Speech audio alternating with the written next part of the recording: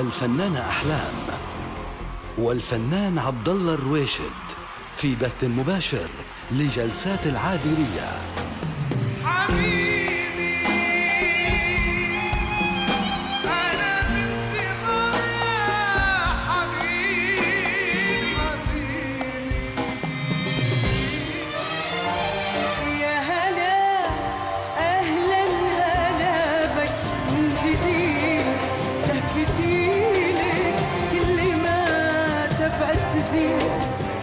الليلة على شاهد في آي بي وضمن باقة. تخيل.